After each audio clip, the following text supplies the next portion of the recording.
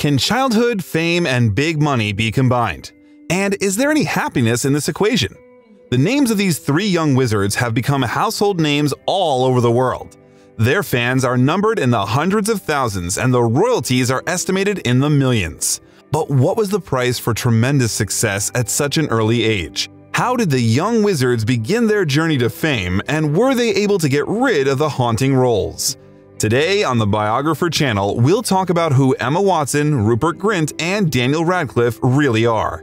What are they doing now, and what have they been through to stop being wizards and become independent actors? If you have not learned how to transgress, we suggest using the magic of YouTube to be transported to the magical world. Subscribe to our channel and enable notifications under this video and I guarantee you'll have a fabulous time.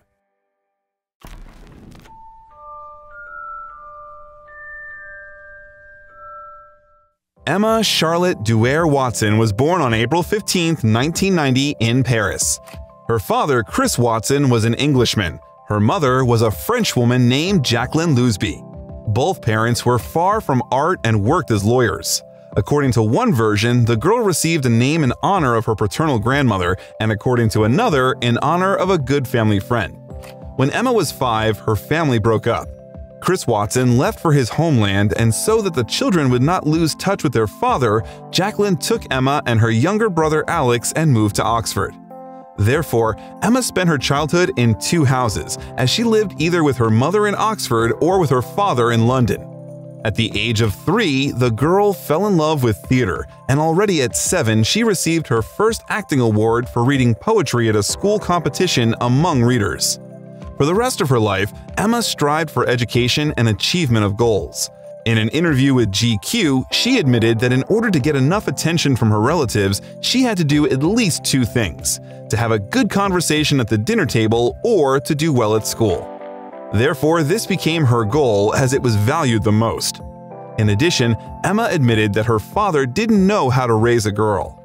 She was treated like an adult from childhood. He treated me like a boy. He didn't do kid stuff.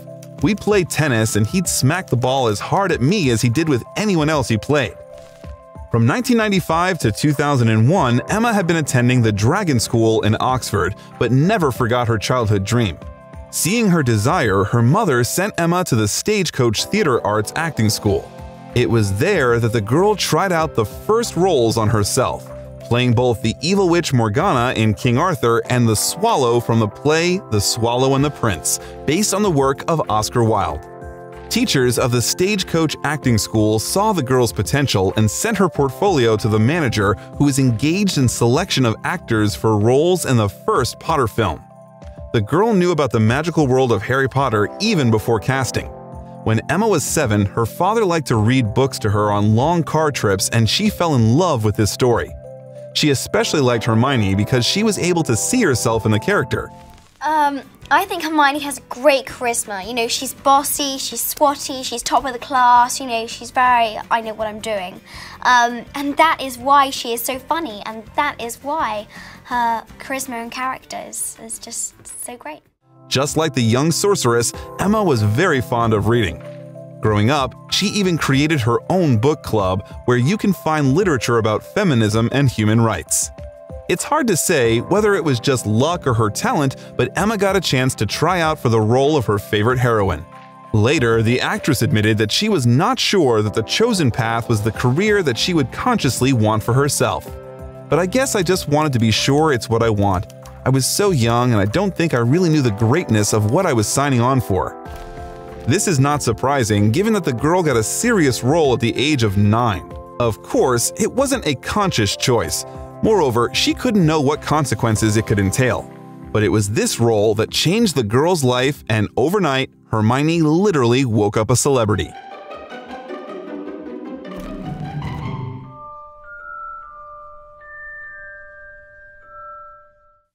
The future red-haired wizard was born on August 24, 1988 in the small town of Harlow. The parents named their boy Rupert Alexander Lloyd Grint. His father, Nigel Grint, owned a gift shop. His mother, Joanna Parsons, led the household and raised five children, among whom, in addition to Rupert, three younger sisters of the future actor grew up – Georgina, Samantha, Charlotte, and brother James. When the boy was 12, his parents divorced. In the elementary Catholic school named after St. Joseph, the boy became interested in amateur performances, which he showed to the younger children in his family. The boy became seriously interested in theater.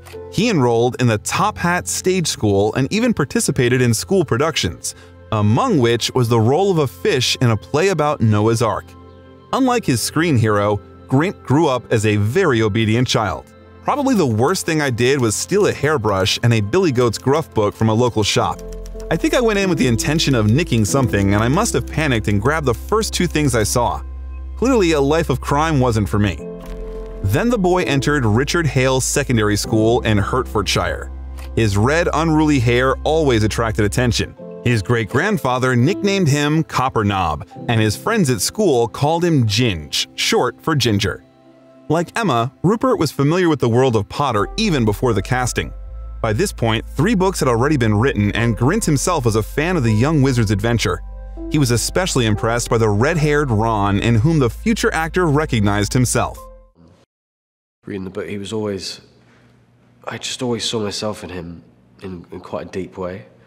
Um, I think because he's, he's just very real, I think he's, Therefore, when he found out that a set of actors of the film adaptation of Rowling's novel have been announced, the boy decided to try his luck. Grint's first attempt failed. He didn't receive an answer, but Rupert didn't give up and approached the question in a very unusual way.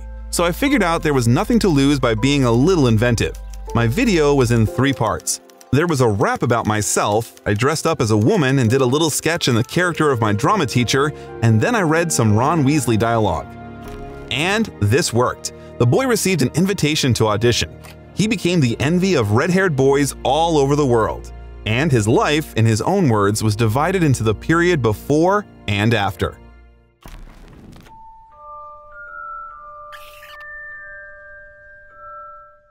Daniel Jacob Radcliffe was born on July 23, 1989 at Queen Charlotte's and Chelsea Hospital in Hammersmith, West London. He is the only child of Marcia Jeannine Gresham and literary agent Alan George Radcliffe. From an early age, Daniel showed his interest in acting. When he was five, his mother brought him to a comedy production. He recalled turning to her and saying, I want to be an actor. And she, being a former actress from personal experience, replied, no, you do not want to do that. Daniel stopped thinking about it for a while. The reason for such categoricalness of his mother was the peculiarity of the boy. Daniel had been suffering from dyspraxia since childhood. The disease manifested itself in problems with coordination, speech disorders, and learning difficulties. I don't hide my illness. Most people prefer to hide their diagnosis. They're ashamed of it. You don't need to do this. Yes, something inside my skull went wrong, but it's not my fault. I'm quite an adequate person, and in my opinion, I live a full-fledged life. Marcia worked as a casting agent for BBC Productions. Once, there was an audition for the role of David Copperfield for BBC One, and she was offered to bring Daniel. Maybe he can have an audition, just as a complacency he tried, she thought. So at the age of 10, the actor made his debut in the two-part adaptation of Charles Dickens' novel David Copperfield in 1999, portraying the main character as a child. Immediately after that, in 2001, Daniel made his feature film debut, The Tailor of Panama, based on the 1996 spy novel by John Le Carre. By that time, one major director had already become interested in Daniel Radcliffe, and fate was already preparing a big surprise for the boy. But more on that later. His education faded into the background. For all that time, Daniel studied at three independent schools for boys in London Redcliffe School, Sussex House School, and the City of London School. It was because of his acting career which began to develop at a rapid pace. It was hard for Dan to study. Many classmates began to treat the boy with hostility after the release of his next film. They bullied him and felt jealous. What exactly was this movie? I think many have already guessed it.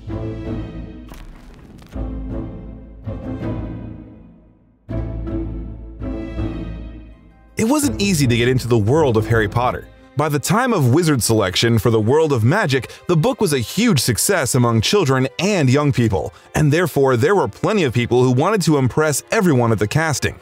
The fourth part of the series was on the way, and Rowling accepted an offer from Warner Brothers about the film adaptation, putting forward a number of conditions including personal control of the casting selection process. In addition, it was required to take exclusively British school kids between ages of 9 and 11 for the roles. The audition took place in several stages. First, potential wizards had to read their own chosen page from Harry Potter. After that, they should stage an impromptu arrival at the School of Magic, and in conclusion, to play out several pages of the script. Therefore, each of the contenders were seriously prepared. As you probably understand, Emma Watson thoroughly approached the auditions. At the same time, the girl didn't fully believe that she would be able to get the coveted role because she had to compete with hundreds of contenders for the place of Hermione Granger. It's interesting that Watson was also supported by the author of the children's book about the wizard, J.K. Rowling, who liked the girl. For filming, the young actress had to dye her hair brown as the girl was originally a blonde. In an interview in 2014, she said that, in her opinion, she was chosen because she was obsessed with the role of Hermione. I was completely obsessive and I would do it over and over and over again. Funny enough, in the first Harry Potter film, if you watch carefully in some scenes, you can see me mouthing Harry and Ron's lines as well as my own, because that's just what I was like. I was crazy. Rupert also kept up and knew the entire Potter book by heart, that's why he went through the next stages of casting rather quickly. By the way, like his hero, the actor is terribly afraid of spiders. They say he couldn't watch the second part of the Harry Potter movies because of this. He is a unique caricature artist and can create any solid impression within 60 seconds. The selection of an actor for a key role was more difficult.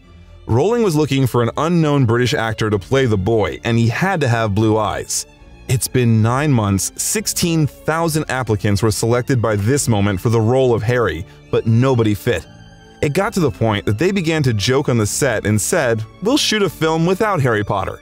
The film's director, Chris Columbus, recalled thinking, This is what I want. This is Harry Potter, after seeing a video of the young actor in David Copperfield.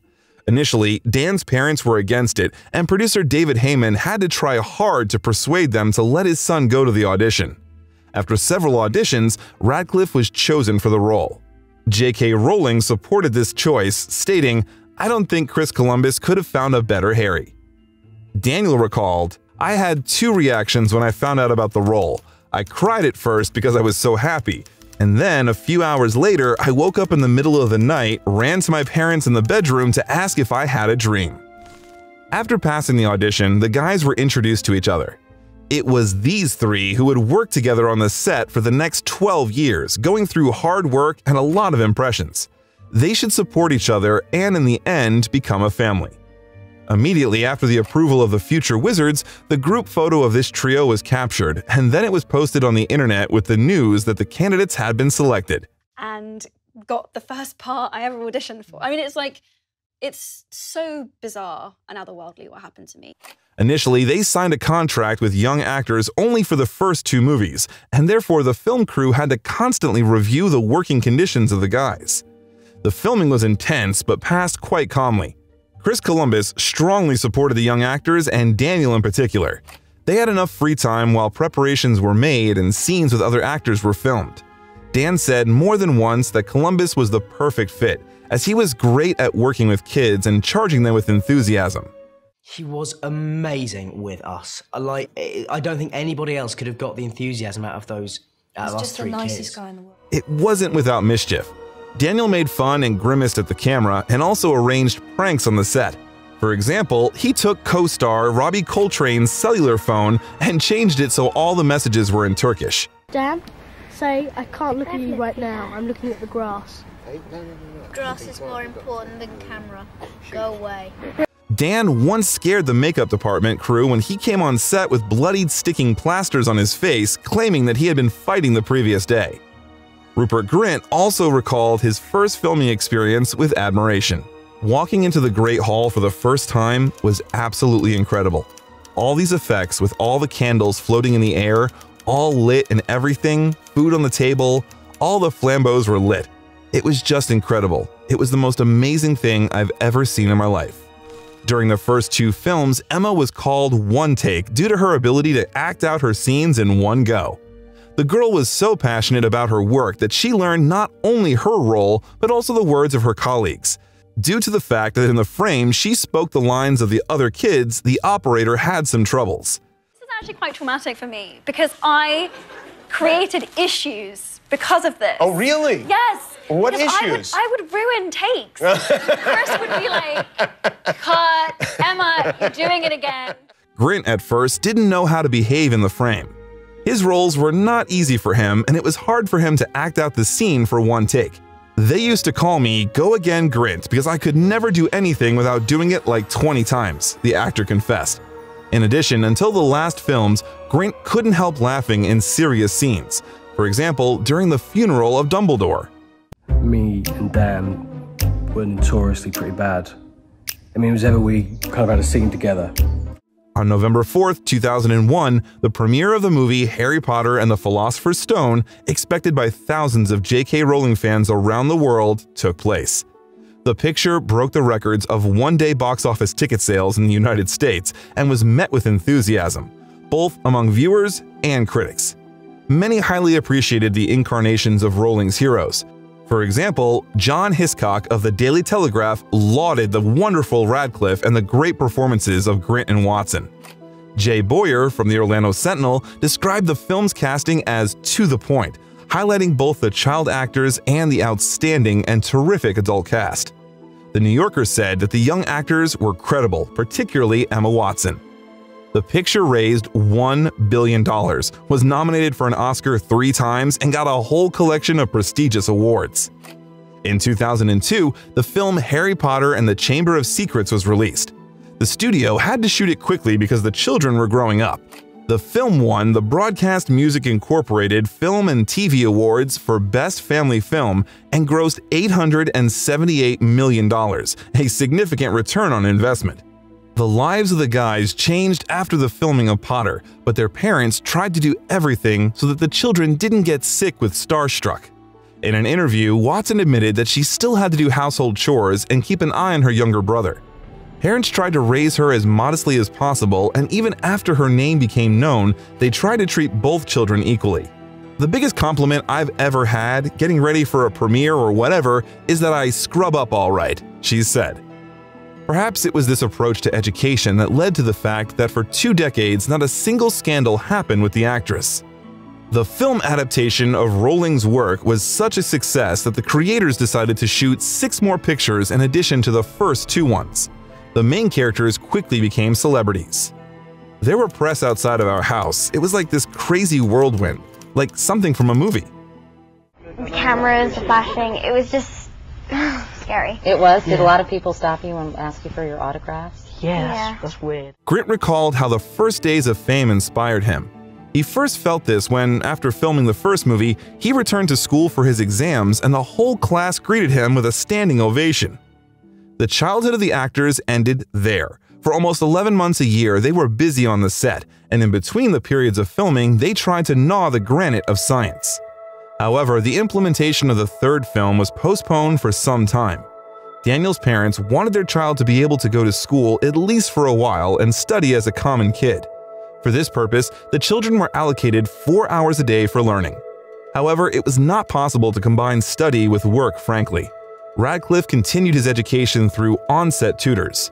The actor has admitted to not being a very good student, considering school useless and finding the work really difficult.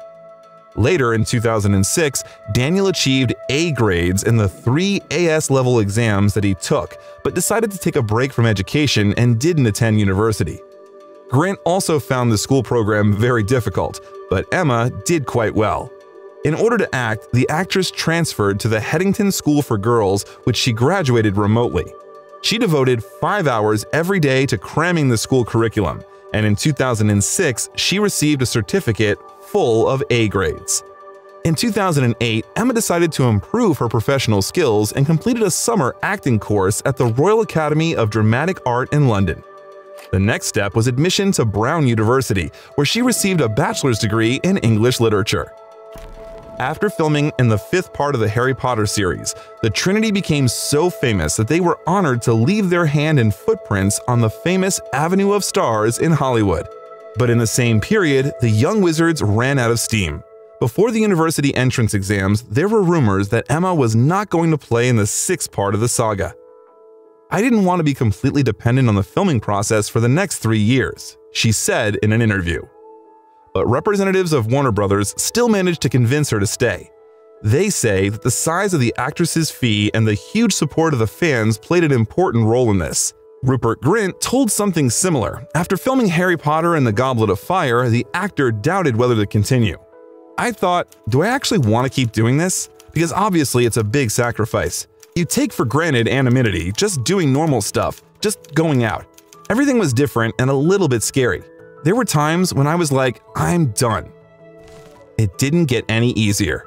One of the most difficult was the film adaptation of Rowling's last book, Harry Potter and the Deathly Hallows, which consisted of two parts. The film director, David Yates, put the actors in rather tense conditions, constant lack of sleep due to a busy schedule, exhaustion, and shooting in difficult conditions. Watson and Grint got a lot of scenes in which they had to be wet and cold. When the girl shared her problems with Yates, the director assured her that her emaciated state looked great on camera. There were days when I was in tears to David, because more than anything, being cold and wet all the time just takes so much energy out of you. It's so draining and trying to give a good performance when you are just miserable and want to go to sleep. The scene where Harry's friends drink a potion to become visual clones of him and help protect him required as much as 95 takes. To make matters worse, Daniel Radcliffe had to imitate the movement patterns of each of the actors and make the scene more believable. Grint also admitted that filming was sometimes too difficult.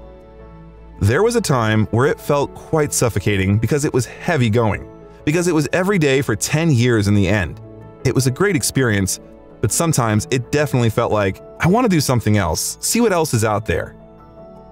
Grint, Radcliffe, and Watson became very close because they shared this experience together. However, when the trio wasn't on the set, they rarely hung out together. Despite their shared affection for each other, they needed some much needed time apart after the completion of each film. By the way, the guys left a few relics after filming as a reminder of a great period of their lives. So Watson admitted that she took the wand, the time wheel, and the cloak. Radcliffe took his glasses, wand, and many other Hogwarts paraphernalia. Grint acted differently. He slowly stole interesting gizmos on the set. For example, the number of the Dursleys' house or the Golden Dragon's egg was estimated at several thousand dollars. The egg, however, had to be returned. Well, Rupert was in his repertoire. And what artifact from the filming would you like to take? Write about it in the comments. We will definitely like the most interesting options. The famous franchise brought fame and money to the young actors, but as usual, it also had negative consequences. Filming absorbed almost all of their free time, and therefore the actors had practically no childhood and were forced to sacrifice a significant part of their personal lives.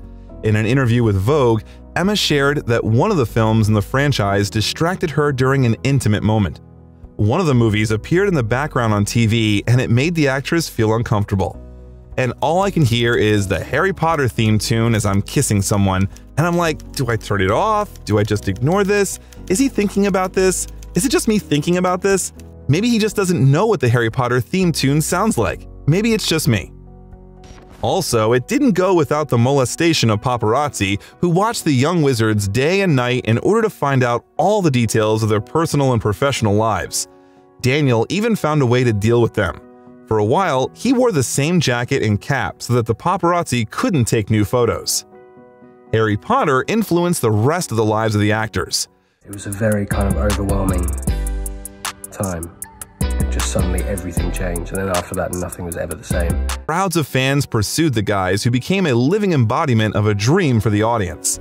Later, Emma admitted she was still afraid to go out for a walk down the street or ride a train. Daniel stated that some people would never be able to separate him from the Harry Potter character. However, he said he was proud to be associated with this film series forever. Dan suffered from fame the most, while working on the last part of the saga, he became very addicted to alcohol. At the same time, the actor drank both during the filming and when the shooting ended. Daniel said that he began to abuse for a completely banal reason. He couldn't stand the fame that fell on him.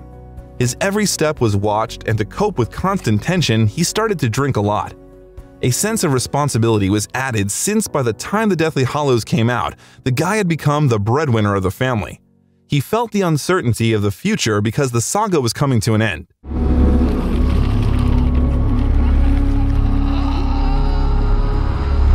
At the same time, he was seized by panic, since the actor didn't know at all what to do next, but he only felt comfortable when he was drunk. At first, I thought it was bad if I went out and got drunk. I was afraid of increased interest because it's not just a drunk guy, it's, oh, Harry Potter got drunk in a bar. This caused people a little derisive interest. They were amused. To cope with this, I drank more, got drunker, and this went on for several years. But we must give Daniel his due. He always behaved politely on the set without manifestations of star disease. Radcliffe proved himself to be an extremely reliable actor and only took two days off during the entire 10 years of filming. But the obvious advantage of taking part in the franchise, of course, was that the young actors weren't afraid of poverty. Emma Watson earned $80 million from all eight movies, while her pay for the first four Harry Potter movies isn't known. Celebrity Net Worth reports that Watson made $4 million for Harry Potter and the Order of the Phoenix in 2007 and a combined $30 million for the last two Harry Potter movies, Harry Potter and the Deathly Hallows Part 1 and Harry Potter and the Deathly Hallows Part 2 in 2010 and 2011. In an interview, Emma admitted that she didn't know until the age of 18 how much she earned on the Harry Potter films. Her father told her about this when he considered that the girl was old enough. Prior to this, she was only given $75 per week as a weekly allowance. By the third or fourth film, the money was starting to get serious. I had no idea. I felt sick, very emotional. After her real income was revealed to her, Watson was able to afford her first major expenses. In a 2009 interview, she recalled that she was able to buy herself a laptop, take her father on vacation to Tuscany, and later buy herself a car. I got my license last year and I love the Prius, even if my friends say it's ugly. They say I drive a brick. And to be fair, it's not the prettiest car on the road, but it's good for the environment. It's sensible and boring, like me. Rupert Grint got a little less than Emma. In total, for eight films, he earned $60 million. But unlike the actress, he was less bothered about how to spend his savings.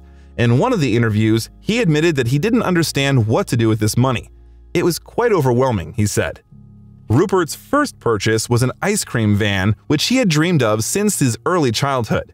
In one of the interviews, he admitted that he still periodically traveled around the neighborhood and distributed ice cream to children for free.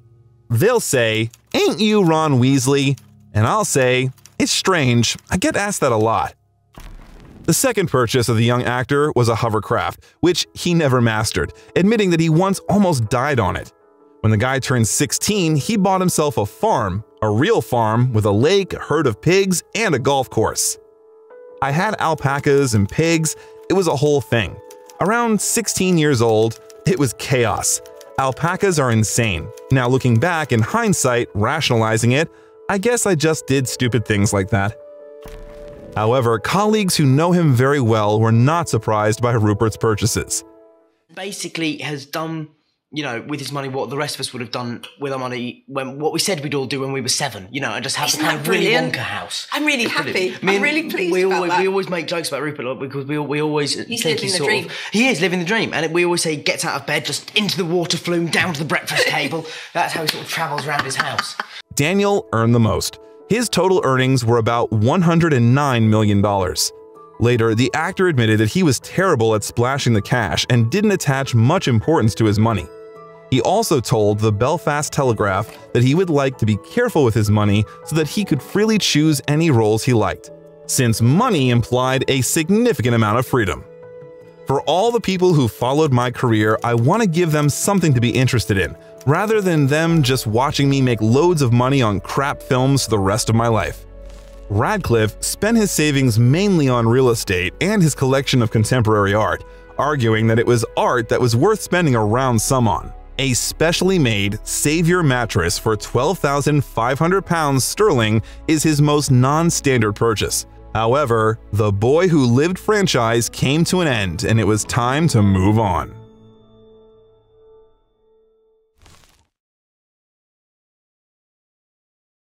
In addition to filming in Harry Potter, Emma tried to be active on the sidelines. In 2005, she began her modeling career. The first professional photo shoot of a 15-year-old girl was shooting for Teen Vogue magazine. Her photo graced the cover of the November issue. In 2007, Emma's first non-Potitarian film, Ballet Shoes, was released. It was a television adaptation of Noel Streatfeild's novel. Here, the young actress got one of the main roles, the little orphan Paulina Fossil, who, along with her stepsisters, was trying to survive with the help of her talent. The lyrical drama directed by Sandra Goldbacher was warmly received by the audience. On Rotten Tomatoes, the picture was rated 10 out of 10, and Wayne Myers from the Oneida Daily Dispatch called it an embraceable film of the sort that emerges more frequently from elsewhere nowadays than Hollywood, and praised the performances of Paige, Watson, Boynton, and Nichol.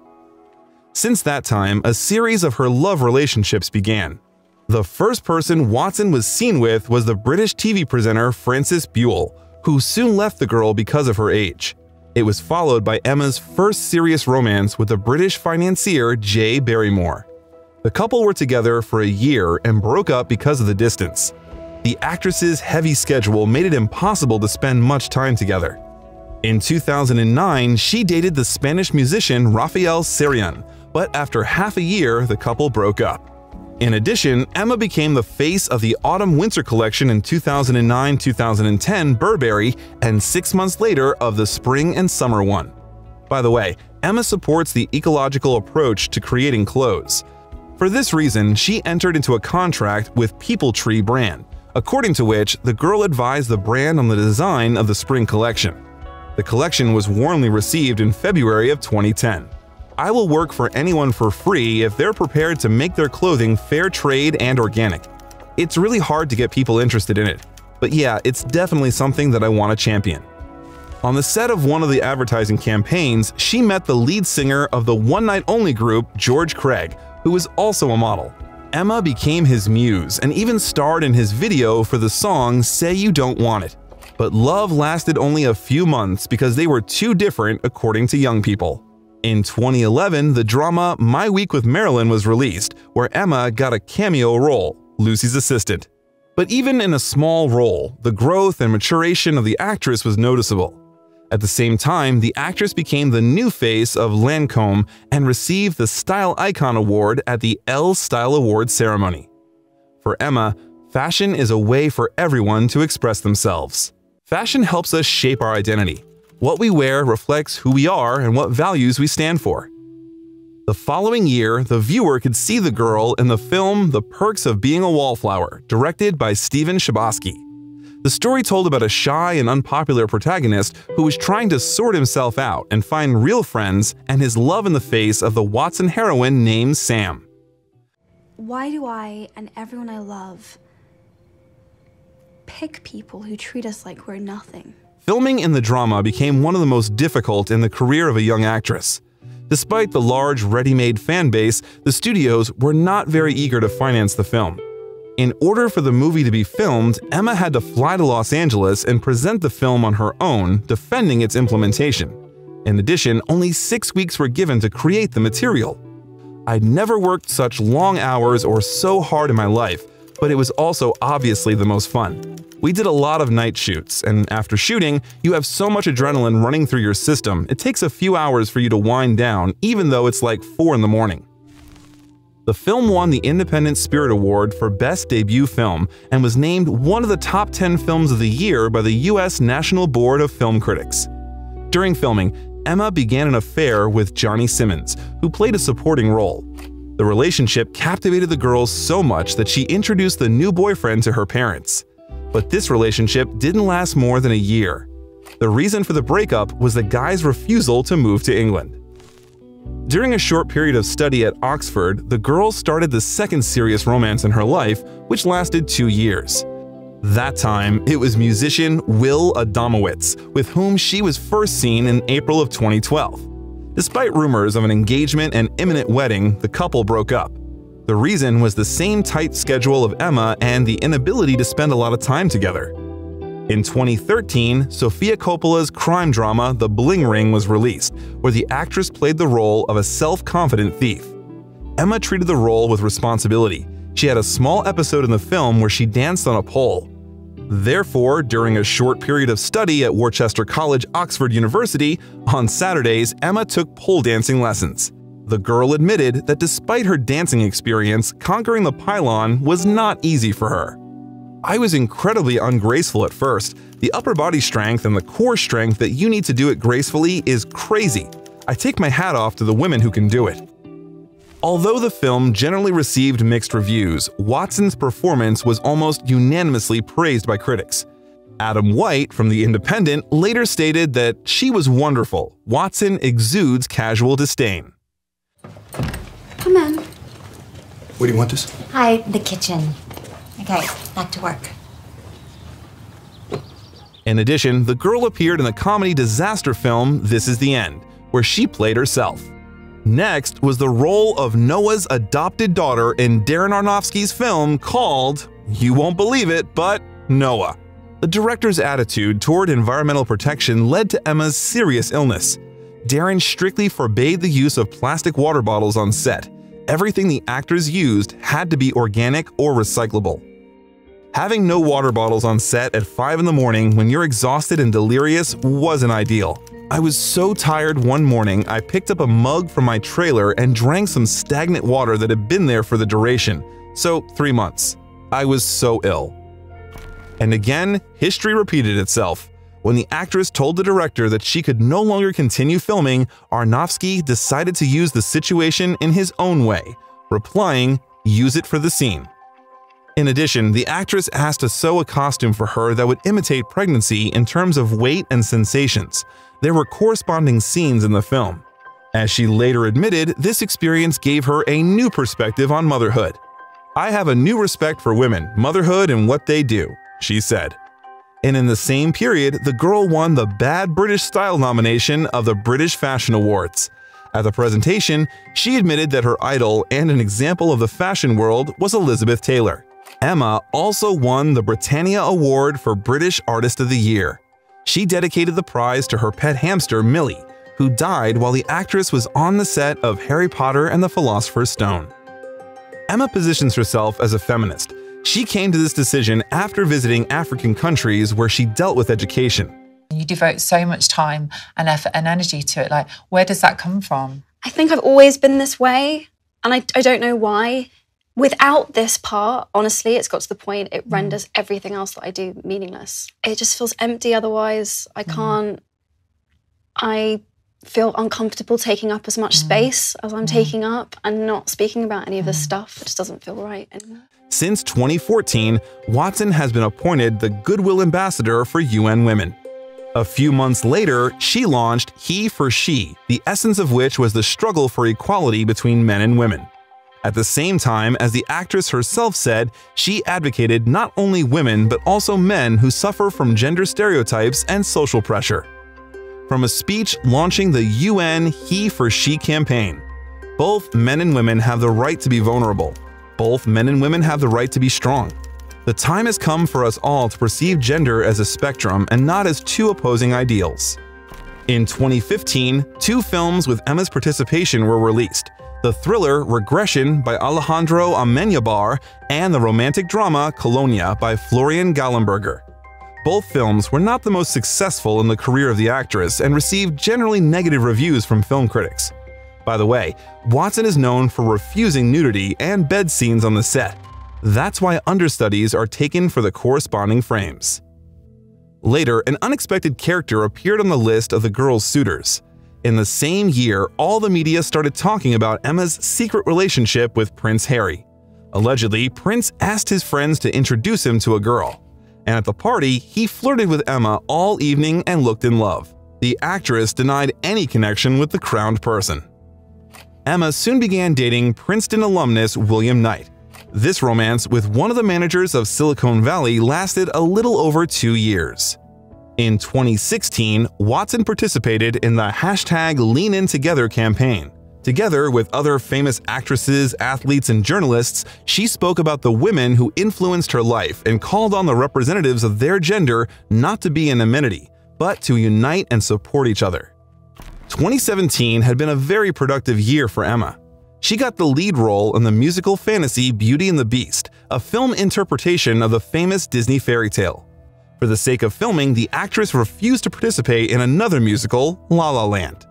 To prepare for the role of Belle, the girl worked hard for three months. She took lessons in singing, dancing, and writing.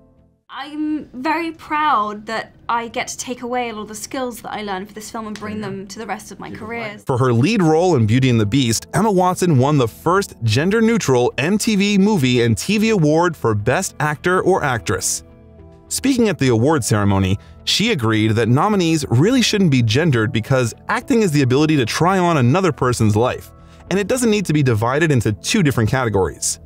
The film grossed over $1.2 billion at the worldwide box office and was the second highest grossing film of 2017, as well as a ton of positive reviews. Richard Roper of the Chicago Sun-Times felt that her performance was filled with Belle's solid courage, sass, intelligence, and fierce independence. Perhaps this is one of Emma's best roles in recent times. Do you agree? Be sure to share in the comments what other films of the actress besides the Potter saga you like and why. In the same year, the second film with the participation of Emma was released. It was The Circle, directed by James Ponsoldt. The plot told about the near future in which there was a conflict between the interests of each individual and globalization. The girl played a young, talented graduate, Mae, who got a job at a global internet company that wanted to change the world. But The Circle didn't live up to expectations. For participation in this picture, Emma was awarded a nomination for the Golden Raspberry Anti Award in the category of the Worst Actress of the Year. Emma healed her disappointment with short-term affairs that followed each other throughout the next year. She had relationships with actor Cord Overstreet, businessman Brendan Wallace, and later Watson was seen with actor Cole Cook. In an interview with Paris Lees, the actress said that she is in a relationship with herself and admitted that after working on herself for a long time, she was quite comfortable being alone. At the same time, Emma considered same-sex couples to be one of the most successful models of relationships. She attributed this to the fact that partners in same-sex relationships have healthier communication skills as they don't adhere to gender roles. A lot of the healthiest relationships I've seen have been between same-sex couples because I think they have to sit down and agree on things. They agree on things between them as opposed to accepting certain sets of assumptions and expectations that are made. In 2019, viewers were able to admire Emma in the film Little Women, based on the novel of the same name by Louisa May Alcott. Saoirse Ronan, Florence Pugh, Timothy Chalamet, and Meryl Streep were her colleagues on the set. The story told about the fate of four girls who were trying to realize themselves in the world of men during the Civil War. Emma was not immediately recognizable, neither in appearance nor in character, but her acting was alive and real. In one of the interviews, she said the following about her character. It's a really good literary device to explain that feminism, there's not one way to be a feminist, which right. we still seem to be struggling with, and right. I'm not totally sure why. Yeah. It's not surprising why the film was highly appreciated by both film critics and ordinary viewers. In addition, the film received six Oscar nominations, including in the Best Picture category. Cash receipts amounted to $218 million, which significantly recouped the cost of implementation. Forbes wrote, Watson has perhaps the most challenging and least audience-friendly role as the proverbial straight woman of the sisters who is put on the defensive when her dreams end up being the most conventional of the lot. Emma said that when choosing a film, she relied on her own intuition, information about who would direct, and one single line from the script. There's usually one line that I read and I'm like, okay, I have to say this line. I have to tell this story. It's an instant click, and if there isn't that line, even if the story is great, I'm always a bit meh. In 2020, Emma joined the directors of the Kering Company, which owns the fashion brands Gucci, Yves Saint Laurent, Balenciaga, and Alexander McQueen.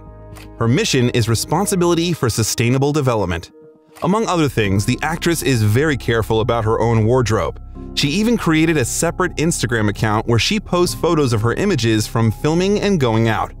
She signs each photo talking about the materials from which things were made. Emma has been in a relationship with American businessman Leo Robinton since 2019. Last year, there were rumors that the actress was going to leave the cinema because of their engagement, but it was later denied by her managers. Perhaps this was due to the fact that Emma had previously stated that her life would be less red carpets and more conferences. The actress herself admitted that the break in work was related to the pandemic, and the rumors were just clickbait. Working with Grint and Radcliffe on an HBO Max reunion special, Harry Potter 20 years later Return to Hogwarts confirmed this. Anyway, little Emma Watson managed to make life after Hermione Granger. And what about Ron? Oh, I mean Rupert.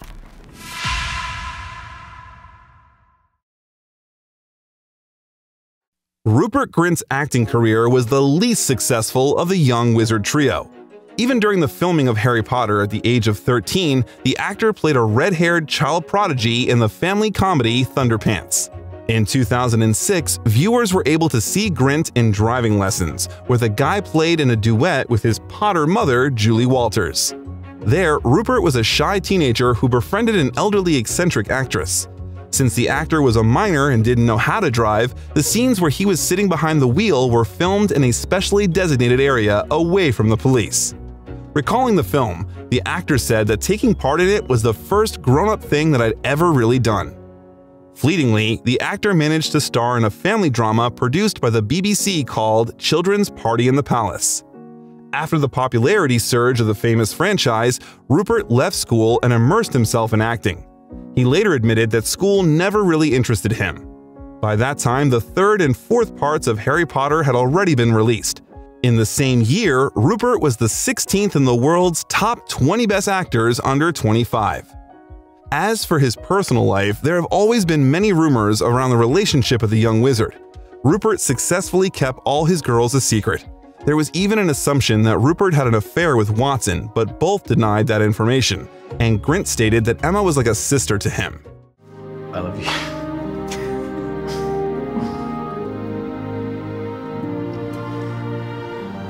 As a friend. In one of his interviews, he said he didn't like beauties. He preferred unusual girls with a great sense of humor. The first attempts at a serious relationship of a young wizard fell on the same period. From 2004 to 2008, he dated actress Katie Lewis, with whom the actor was together because of their common passion for music. After breaking up with Katie, she was replaced by British singer Lily Allen. They met at the premiere of the fifth part of Harry Potter and for a long time tried not to announce their romance. Remarkably, Rupert began a relationship with both girls after serious upheavals in their lives. For example, Katie quit drugs by the time they met, and Lily lost her child and was going through the difficult breakup. In both cases, the guy tried to become a support for the girls and a knight in white armor, but in the end, it didn't work out. The roles chosen in the future didn't work out either. Cherry Bomb, released in 2009, showed a professionally matured actor who was trying to rid the obsessive role of a good red-haired boy. Here, Rupert played a teenager who experimented with drugs, sex, and violence, who at the same time tried to win the heart of a girl. The film failed miserably at the Berlin Film Festival and shouldn't have been released at all, but thanks to the wide fan base that supported the film and even wrote a petition, viewers were able to see it. The film received a mixed response from critics due to the abundance of scenes with marijuana smoking, car thefts, and other illegal activities, which were subject to strong public condemnation. But Grint was still pleased with the film. I loved the script because it was very kind of fast-paced. It was just it was just different as well from, I guess, kind of Harry Potter, really. In 2010, he got one of the main roles in the black comedy Wild Target, directed by Jonathan Lynn, where Bill Nighy and Emily Blunt were his on-screen partners. He turned into a homeless young man who, as fate would have it, became involved in a relationship between a contract killer and a con artist. Grint was clearly in the right place. If you don't believe, then watch the movie. But the film was met rather coldly. It received an average rating of 4 out of 10 on review sites. Time Out London only giving it 2 out of 5 stars, saying that it feels like nothing has been thought through. The verdict given by Empire Online is equally negative. It says that the talented cast keeps some low-key action and tired gags from derailing this disappointing farce. In parallel, the actor was seen with Kimberly Nixon, his partner in Cherry Bomb. A passionate love affair that began on the set quickly turned into real life. but just as quickly, it faded away. Then he met theater actress Georgia Groome, with whom Grint would connect his life for many years. In seven years, the couple was seen with wedding rings on their fingers. Ten years later, commenting on his relationship, the actor shared a secret. It's a very natural thing. We're just best friends.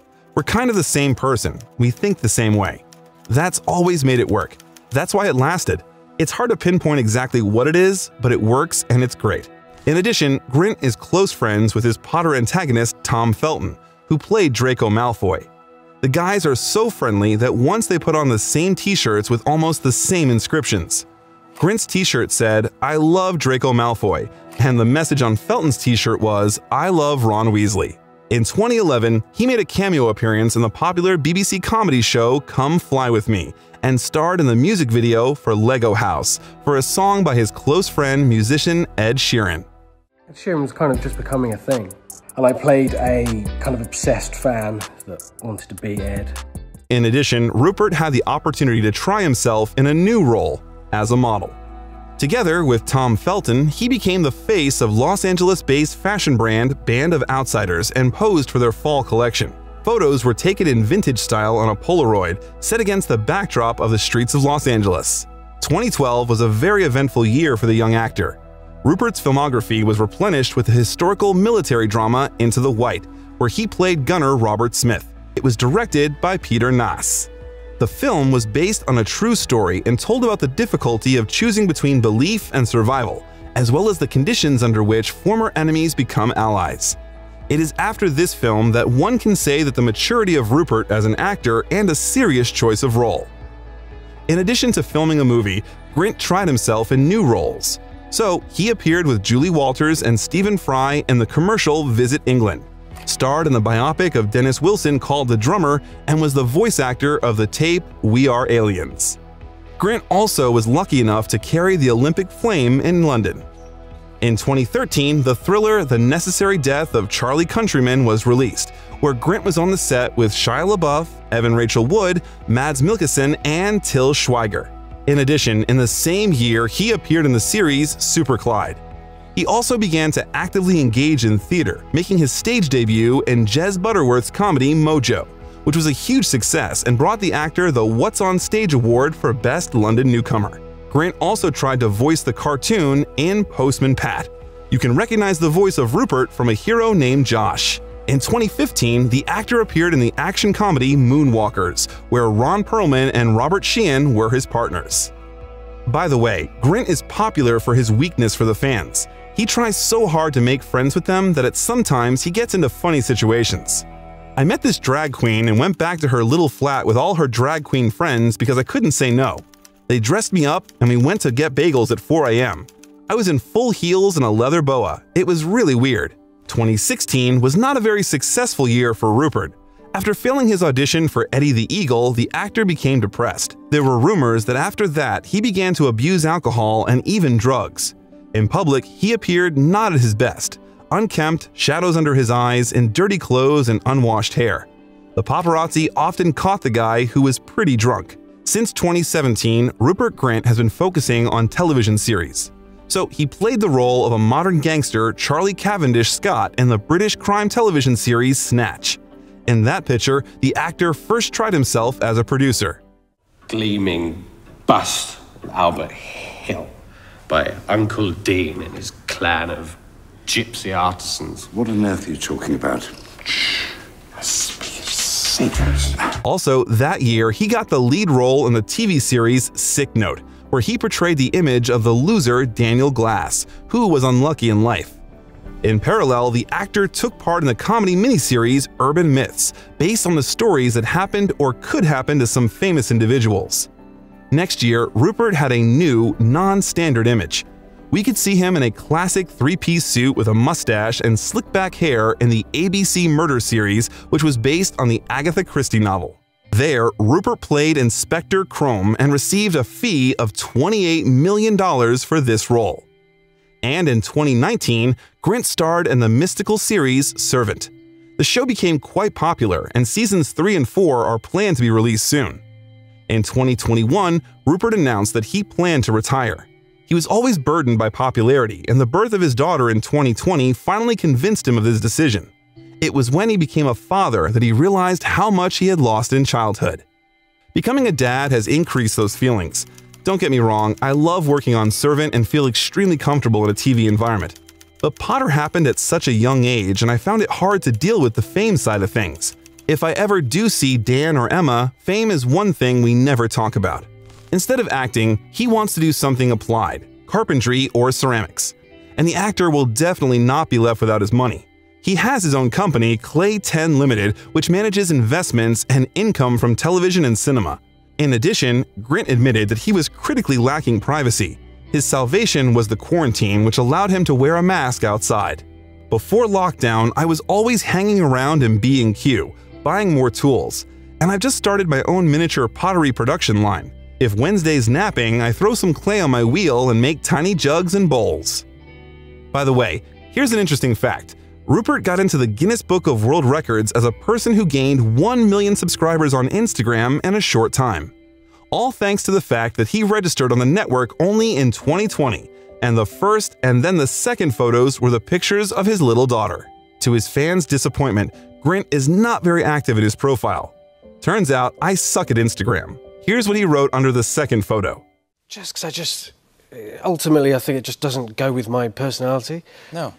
I'm quite a shy person, and the thought of kind of sharing my life Yeah. Are just private? didn't seem that it would really. Yeah.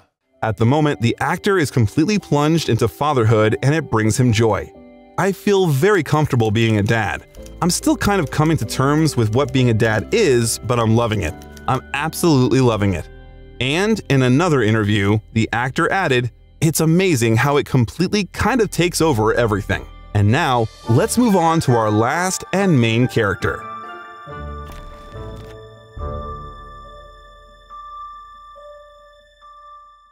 What happened to Daniel Radcliffe is what the actors of popular franchises are so afraid of. For many viewers, he remained Harry Potter. Even during the filming of the franchise, Dan made an attempt to prove to everyone that he can be not only a boy who survived. To show himself as a versatile actor, he began to choose very non standard projects already in his teens. Parallel to filming Harry Potter movies in 2002, Daniel made his debut as a celebrity guest in a West End production of The Play What I Wrote, directed by Kenneth Branagh, who also starred with Dan in Harry Potter and the Chamber of Secrets. And in 2007, Radcliffe co starred with Carey Mulligan in My Boy Jack, a television drama film shown on ITV. Several critics praised Radcliffe's performance as an eight year old who goes missing in action during a battle. Radcliffe stated, For many people my age, the First World War is just a topic in a history book, but I've always been fascinated by the subject and think it's as relevant today as it ever was. A year later, Dan decided to try himself in a different direction. The actor published his own poems under the pseudonym Jacob Gershon, a combination of his middle name and the Hebrew version of his mother's maiden name, Gresham, in the underground fashion magazine Rubbish. Years later, the actor admitted that he didn't like his own works and called them terrible. However, Dan is generally known for his self criticism. The actor doesn't like to watch films with his participation because he is always dissatisfied with something in his performance or appearance. It can be assumed that the very sensational performance of the 17 year old actor in a West End revival of Peter Shaffer's play Equus at the Gielgud Theatre was a demonstration of his resolute readiness for serious and more adult roles. The actor took on the lead role of horse groom Alan Strang. In one of the scenes, Dan appeared in front of the audience completely naked. When photographs from the performance hit the press, many parents argued to ban Radcliffe from the production. The main argument was that he played in the most popular children's film, and such obscene behavior corrupted his audience. However, critical reaction to the production was positive. Due to Radcliffe's strong dramatic performance, the spectacle was nominated for a Drama Desk Award. With the end of filming on Harry Potter, Daniel's diverse range of projects began to grow steadily. After voicing a character in the Simpsons episode Treehouse of Horror 21, Radcliffe debuted as J. Pierpont Finch in a 2011 Broadway revival How to Succeed in Business Without Really Trying at the Al Hirschfeld Theater. A noble tie that binds all human hearts and minds into one brotherhood of man. Radcliffe's performance in the show earned him a Drama Desk Award, Drama League Award, and Outer Critics Circle Award nominations. In 2012, Daniel appeared in the horror film The Woman in Black, adapted from the 1983 novel by Susan Hill. At the time, he was incredibly excited to be involved with that film and called its script beautifully written. 2013 was a particularly busy year for the actor. He first appeared as American beat poet Allen Ginsberg in the thriller drama Kill Your Darlings, directed by John Krokidas. In the same year, he played in the romantic comedy film The F Word, based on TJ Dawe and Michael Rinaldi's play Toothpaste and Cigars. And then he starred in a dark fantasy horror film directed by Alexandre Aja, Horns. Both films were presented at the 38th Toronto International Film Festival. At the same time, Daniel didn't get tired of appearing on the theater stage. Radcliffe played in the Noel Coward Theatre in the stage play revival of Martin McDonagh's dark comedy The Cripple of Inishmaan, as the lead Billy Claven. This role earned him the What's on Stage Award for Best Actor in a Play. By the way, by that time, Daniel was finally tied up with drinking. The support of relatives and friends helped him in that as well as sports. At one point, I got tired of receiving 20 messages a morning Where are you, guy? Are you okay? I decided to stop drinking, and it was very hard for me. I constantly broke down. But when one day I went on a five hour walk, I realized that while I was doing sports, I didn't want to drink alcohol. After realizing this, I began to go to the gym every day and train hard. In 2015, Daniel starred in a science fiction horror film, Victor Frankenstein, directed by Paul McGuigan. He also starred in the biographical drama The Game Changers as Sam Houser, one of the founders of Rockstar Games. The film told the story of the controversy caused by the successful Grand Theft Auto video game series as various attempts were made to halt the production of the games. Regarding Dan's personal relationship with video games, he once admitted that Minecraft made him feel old. I was playing with my godson, or attempting to play, and he was like, explaining it to me, and I was saying all the old person things, just like, I don't get it. How is it a game? When does it finish? Dan is not on social media. He says that he's just happy to live without it because he feels complete freedom. He never reads what they say about him. Although his girlfriend has Twitter and he can see with one eye what is happening there, for example, videos with dogs or cool magic tricks. In November of 2015, Daniel Radcliffe received a star on the Hollywood Walk of Fame. If you get to work in this job, you are, by sheer virtue of statistics, one of the luckiest people on earth. And so none of us should, who are, who are lucky enough to do this, should ever forget that. And I promise you that I won't. I will never stop feeling lucky to be here and be a part of this. Daniel starred in the 2016 action adventure film Now You See Me Too, alongside Mark Ruffalo, Jesse Eisenberg, and Woody Harrelson film was a continuation of the extremely successful first film about illusionist thieves. The same year, Radcliffe portrayed Manny, a talkative corpse in the indie film Swiss Army Man with Paul Dano. A peculiar film needed an unusual publicity, and Dan coped with this task perfectly. During the promotional tour, Radcliffe toured New York and Los Angeles with a mannequin of himself. The actor also starred in the critically acclaimed independent film Imperium with Toni Collette and Tracy Letts. The character of Radcliffe, an FBI agent, infiltrated a gang of neo Nazis. Many critics called that role the most serious project in the adult career of Radcliffe. Between films, Daniel starred off Broadway at the Public Theater in a documentary theater piece titled Privacy. Besides the fact that Radcliffe sings, he also raps quite well. Once on The Jimmy Fallon Show, the actor effectively read the song Alphabet Aerobics, which caused a storm of applause from the audience. Casually create catastrophes, casualties, canceling cats got their canopies collapsing. Detonate a dime dank, daily do and do. Demonstrations, Don Dada on the down low. In 2017, the actor starred as Yossi Ghinsberg in the thriller Jungle, which was based on a worldwide best-selling memoir of the same name by Yossi Ghinsberg. Also in 2017, Daniel played a drug smuggling pilot in the independent action thriller Beast of Burden, and also returned to Broadway in the comedy play The Lifespan of a Fact at Studio 54 Theater.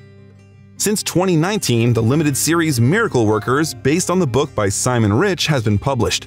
Each season tells a different story, but the actors remain the same.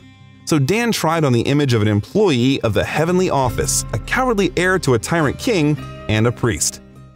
She'll be driving six white horses when she comes. She'll be driving six white horses when she comes.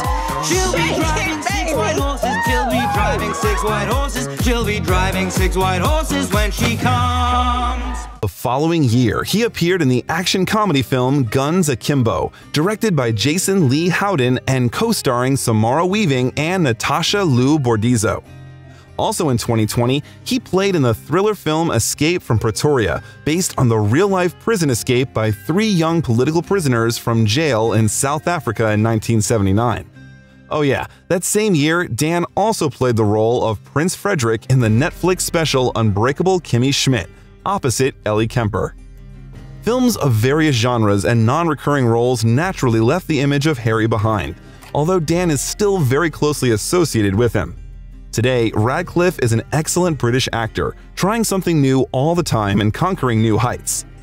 Radcliffe splits his time between homes in Fulham area of London and the West Village neighborhood of New York City's Manhattan borough. Since 2012, he has been in a relationship with American actress Erin Darke after having met on the set of Kill Your Darlings. The actor's material condition is not growing as rapidly as during the filming of the Harry Potter series, but steadily. The Sunday Times Rich List of 2020 estimated Radcliffe's net worth at 94 million pounds. However, the actor doesn't seek enrichment and is actively involved in charity work. Radcliffe has lent his support to various charitable organizations.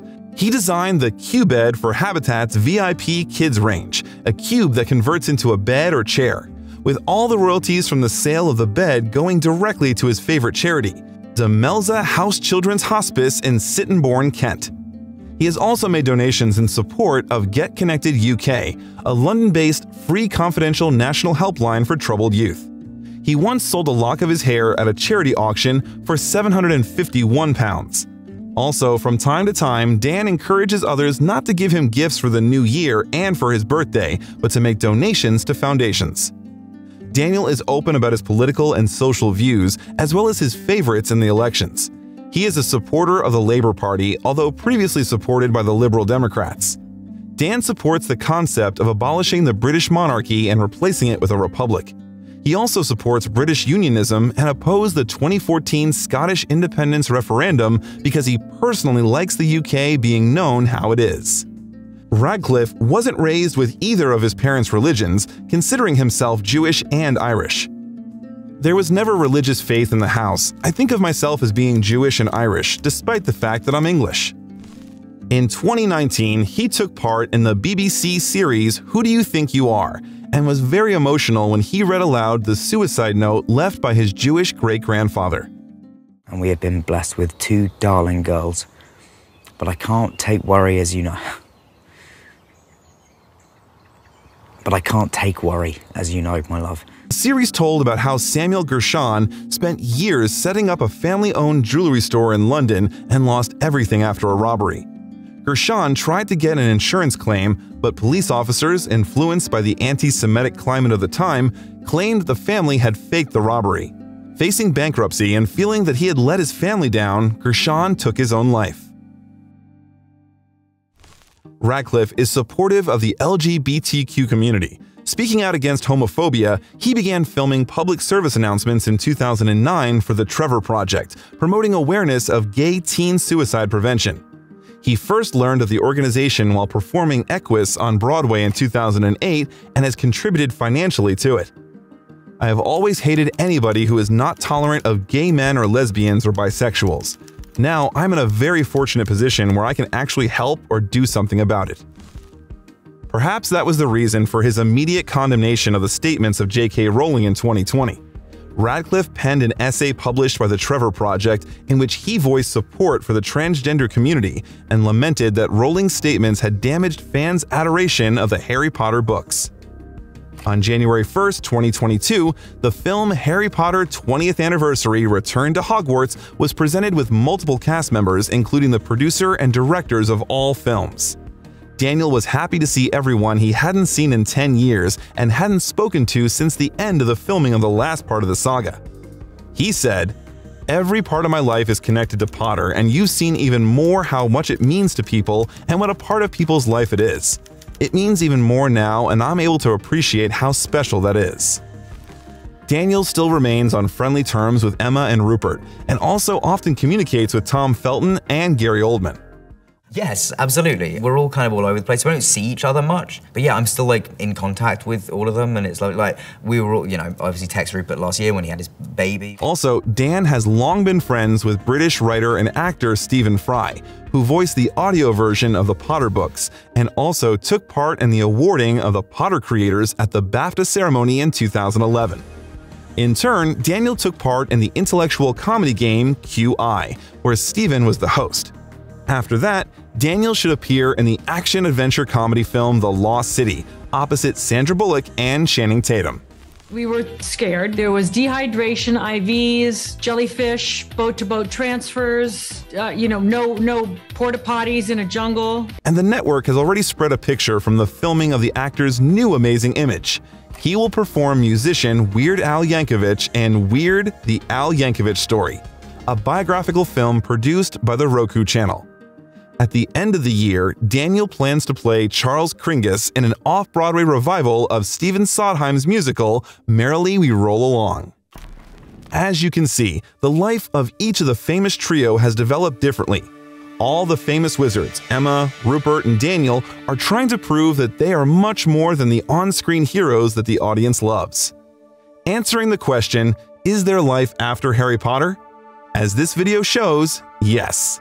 We hope that today's heroes will be able to find happiness and will be able to observe their non-standard roles, inspiring projects, and new victories. And we will never forget about the magical world that they gave us. Even after 20 years, the Harry Potter films still delight and inspire us, and the special effects look like a day out of date. If you click on this icon, you'll see how the magical world of Harry Potter was created. What funny situations happened on the set?